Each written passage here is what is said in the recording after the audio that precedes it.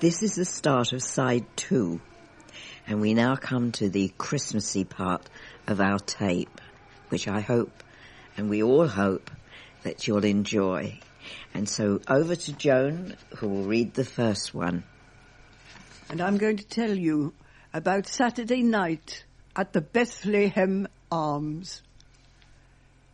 Very quiet, really, for a Saturday. Just the old couple come to visit relations who took the double room above the yard and both of them in bed by half past nine. Left me with the other one, that stranger. Sat like he was set till doomsday at the corner of the bar, sipping small beer, dead slow, and keeping mum those beady tax collector's eyes of his on my reflection in the glass behind the bar, watching me, watching me. And when he did get round to saying something, his talk was like those lines of gossamer that fishermen send whispering across the water to hire and lure and hook unwary fish. Not my type. And anyway, I'd been on the go since five, dead beat I was. Some of us have a bed to go to, I thought to myself. And I was just about to call time when the knock came at the door. At first, I was for turning them away. We only have two rooms, see, and both of them were taken. But something desperate in the woman's eyes made me think again. And I told them they could rough it in the barn if they didn't mind the cows and mules for company. I know. I know. Soft that's me. I yawned. Locked up, turned out the lights, rinsed my hands to lose the smell of beer, went up to bed. A day like any other. That's how it is. Nothing much ever happens here. It never snows at Christmas in that dry and dusty land. Instead of freezing blizzards, there are palms and drifting sands. And years ago, a stable and above, a glorious star and three wise men who followed it on camels from afar, while, sleepy on the quiet hills, a shepherd gave a cry. He'd seen a crowd of angels in the silent starlit sky. In the stable, ox and ass stood very still and calm, gazing at the baby safe and snug in Mary's arms. But Joseph, lost in shadow, face lit by an oil lamp's glow, stood wondering that first Christmas day two thousand years ago. No, in the street. I did not sleep last night. The falling snow was beautiful and white. I dressed, sneaked down the stairs, and opened wide the door. I had not seen such snow before. Our grubby little street had gone. The world was brand new and everywhere there was pureness in the air. I felt such peace. Watching every flake, my heart felt more and more awake. I thought I'd learned all there was to know about the trillion million different kinds of swirling, frosty, falling flakes of snow. But that was not so. I did not know how vividly it lit the world with such a peaceful glow. Upstairs my parents slept, yet I could not drag myself away from the sight to call them down and have them share the mute miracle that was everywhere. The snow seemed to fall for me alone. How beautiful the grubby little street had grown. My dear, said Prince Albert, you seem to be in a mood of the deepest glums. Now, I have an idea. It might help to cheer you as Christmas comes. It's a custom back in my homeland, a spruce or a fir, a small tree, hung with ribbons, bright papers, all lit up with wax tapers. I'll arrange it. Uh, that's, that's if you agree. The Queen's voice was cool. My dear Albert, I confess I'm a little confused. Do you really desire to set Windsor on fire? We are definitely not amused. But ignoring the Queen's disapproval, the Prince Consort, in great secrecy, with their children, a maid, and some courtiers to aid, dressed a sumptuous Christmas tree. A magical, glittering vision as Victoria was brought on the scene. Her eyes shone with delight and her mood changed that night. We are greatly amused, said the Queen. Snowflakes are falling as soft as pussy willows. Perhaps it's the Snow Queen shaking out her pillows. It might be showers of stardust falling from the sky, or a little fluffy cloud who's just started to cry, or drips of ice cream dripping from a giant's ice cream cone, or scales from an ice dragon flying all alone, or feathers from a swan flying to the frozen lake, or maybe Father Christmas is icing a cake. Could it be white leaves dropping from rice paper trees? No, it's all the Christmas fairies dancing on the breeze.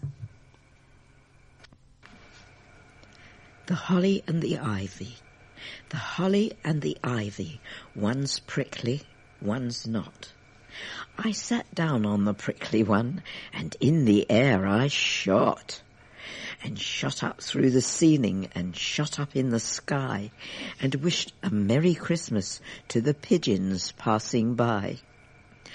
I shot above the rainbow, and climbing towards heaven, I wished a Merry Christmas to a Boeing 747. I kept shooting higher and higher. And soon I was wishing Merry Christmas to the man in the moon. Then I started to tumble and fall back to earth. To slow me down, I flapped my arms for all that I was worth. I fell back through the ceiling and landed on a chair but luckily on a different one, and the holly was not there. So just you be careful when Christmas comes around. Be sure to check beneath you when you're starting to sit down. And just you remember the thing I forgot. The holly and the ivy, one's prickly, one's not. I did not sleep last night. The falling snow was beautiful and white.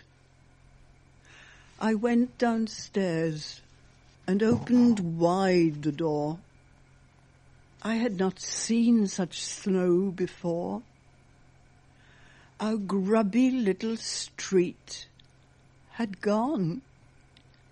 All looked brand new and everywhere there was a pureness in the air. I felt such peace, Watching every flake, I felt more and more awake. I thought I'd learned all there was to know about the trillion, million different kinds of swirling, frosty flakes of falling snow. But that was not so. I did not know how vividly it lit the world with such a peaceful glow. Upstairs, my parents slept. I could not drag myself away from that sight to call them down and have them share the mute miracle of the snow. It seemed to fall for me alone. How beautiful our little street had grown. My my house smells of Christmas, pine, resin, cinnamon, gingerbread, cloves. We made mince pies and fir cone swags, pomanders and mistletoe balls. On the wall there's a, spec- a spiced apple garland. The fir tree greens the hall.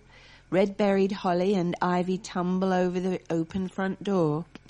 My house smells of Christmas. Pine resin, cinnamon, gingerbread, cloves. Ready for the star and feathers of snow. A newborn child, myrrh, frankincense, gold. To light my house with that special Christmas glow.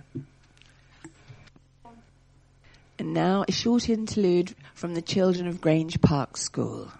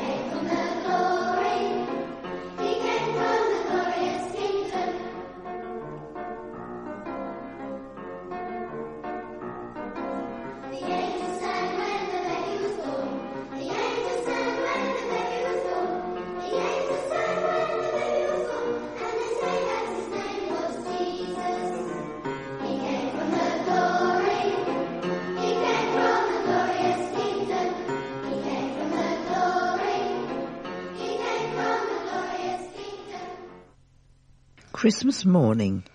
Last year on Christmas morning, we got up really early and took the dog for a walk across the downs.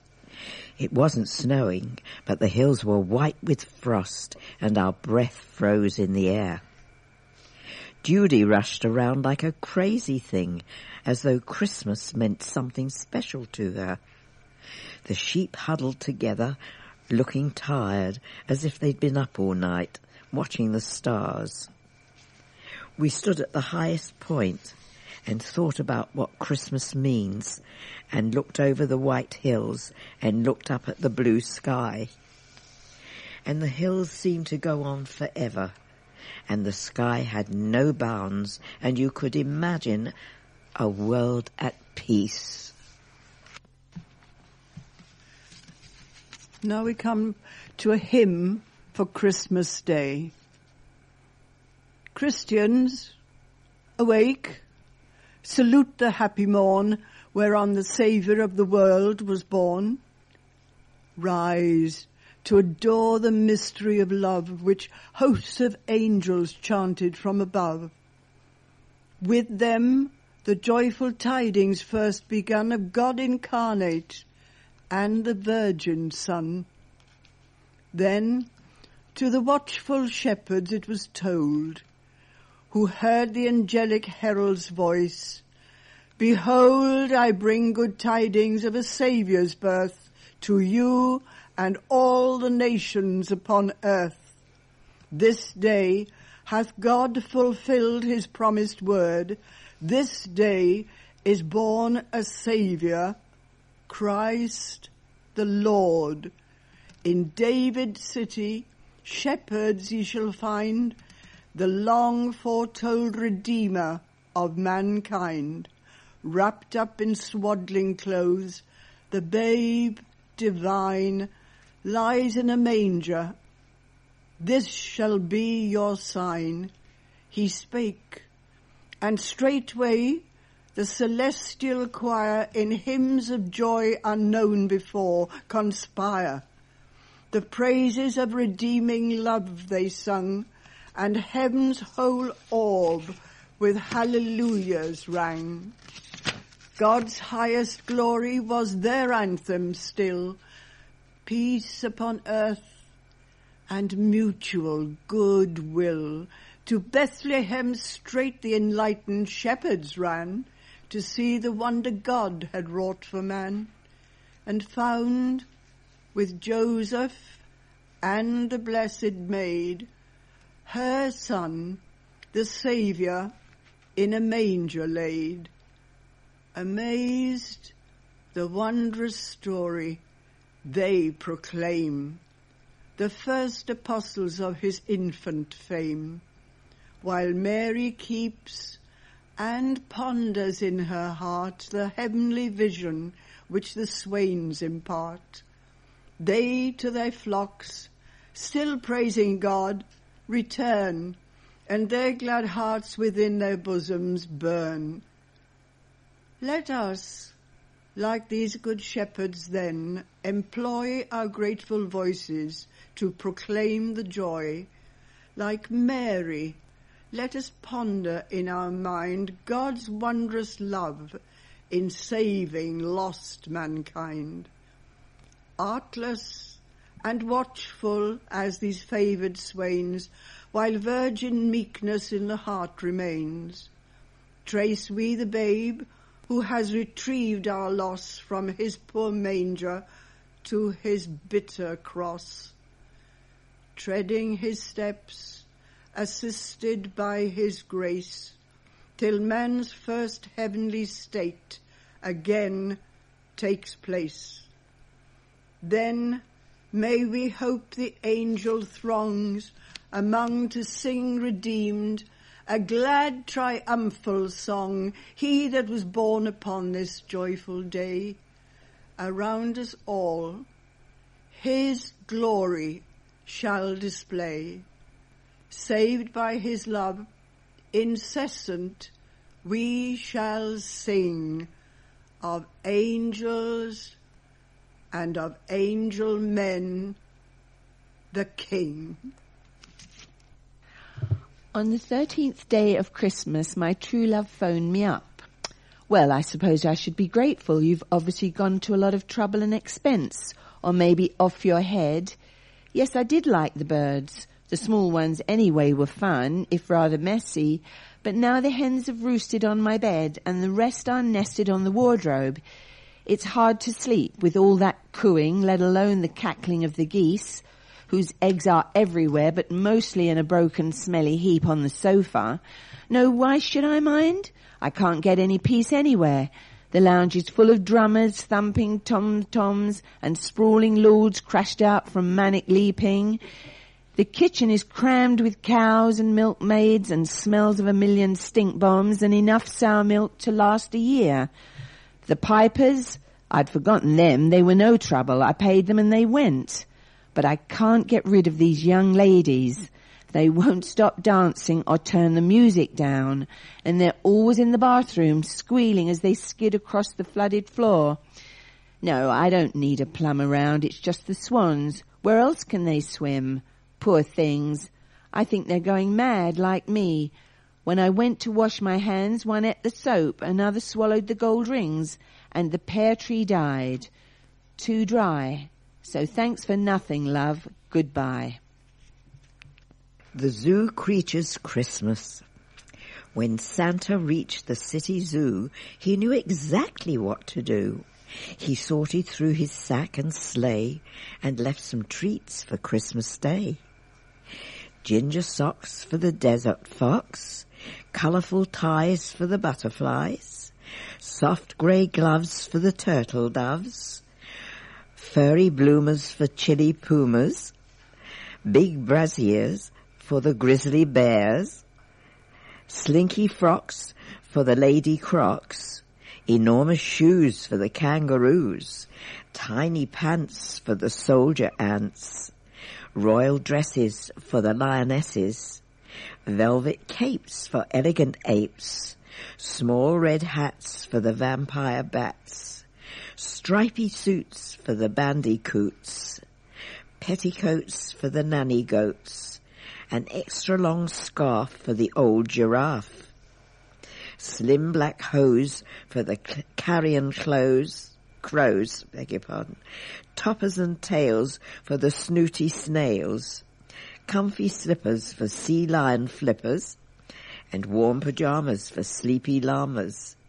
So, did the creatures cheer and purr, and were they pleased? Of course they were. Now, how would you think about a Martian Christmas then? After a long year and a half in space, we reached Mars, December the 25th, 2033. Christmas dinner was all planned. Freeze-dried turkey and roast potatoes with Christmas pud squeezed from a tube to follow. Presents were a problem. We hadn't been able to stop off for shopping on the way. And we went outside for the first time and got depressed. Sand. Nothing but sand. Maybe the three wise men will come plodding around that sand dune on their camels, someone said. But we didn't laugh. We were too busy thinking about Christmas. But that was 50 million miles away. Then we saw the star hanging like a lantern in the east. It's Earth, someone said. We just looked and looked and looked. It must have been the brightness of it that made all our eyes water. What will go into the Christmas stocking while the clock on the mantelpiece goes tick-tocking? An orange, a penny, some sweets, not too many, a trumpet, a dolly, a sprig of red holly, a book and a top, and a grocery shop, some beads in a box, an ass and an ox, and a lamb, plain and good, all whittled in wood, a white sugar dove, a handful of love, another of fun, and it's very near done. A big silver star on top. There you are. Come morning, you'll wake to the clocks tick-tocking, and that's what you'll find in the Christmas stocking.